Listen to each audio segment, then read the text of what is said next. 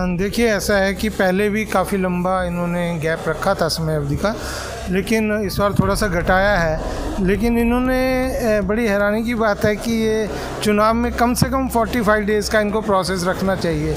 लेकिन गुजरात के चुनाव हिमाचल के साथ होना तय था, लेकिन इन्होंने कुछ संकेत कुछ और देते हैं, दिया जा रहा है कि सब समझते हैं क्या संकेत है। मैं खुद हिमाचल से हूँ और मैं एडवोकेट संजय शर्मा हूँ supreme court high court Delhi में होता हूँ।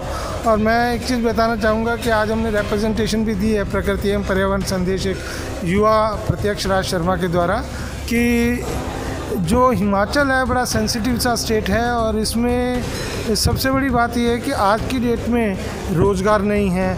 शिक्षा बिक रही है, वहाँ जानकारी में आया कि छत्तीस हज़ार M B and B tech वगैरह की डिग्री बिक गई हैं।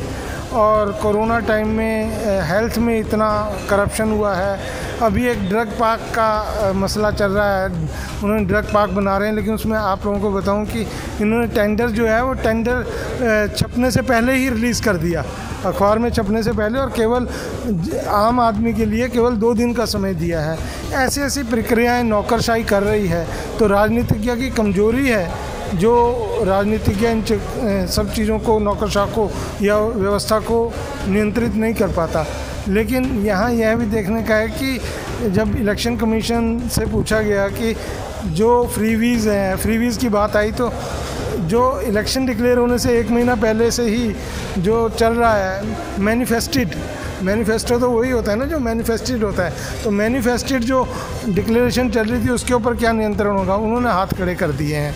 ये कहा जाए कि सब नियंत्रित है तो चुनाव में बहुत ही हैरानी की बात है कि हिमाचल जो है वो नशे के विकराल घेरे में आ चुका है। उसकी जो बॉर्डर स्टेट है पंजाब, वहाँ से एक वाइट सब्सटेंस जो इंपोर्ट होता है और नशा बांटने वाले बांटते हैं बच्चे, उसमें ग्रैपल्ड हो रहे हैं, बच्चे बेरोज़गार हैं, बच्चों को कुछ करने को नहीं है, वो नशा हफ़्ता दस दिन मुफ़्त में दिया जाता है, कहा जाता है, उसके बाद वो नशे का आदि हो जाता है तो उसी में अपना जीवन व्यर्थ कर रहा है, जैसे कह रहे हैं, जीवन को समाहित कर रहा है और कुछ करने लायक नहीं रह जाता इसके लिए सरकार ने अभी तक कुछ नहीं किया है और इलेक्शन कमीशन से जब कहा गया कि आप इसके इलेक्शन के टाइम में लिख कर को बंद कीजिए तो उन्होंने कहा, नहीं, ये तो जैसे नियमानुसार होता है, वैसे ही होगा।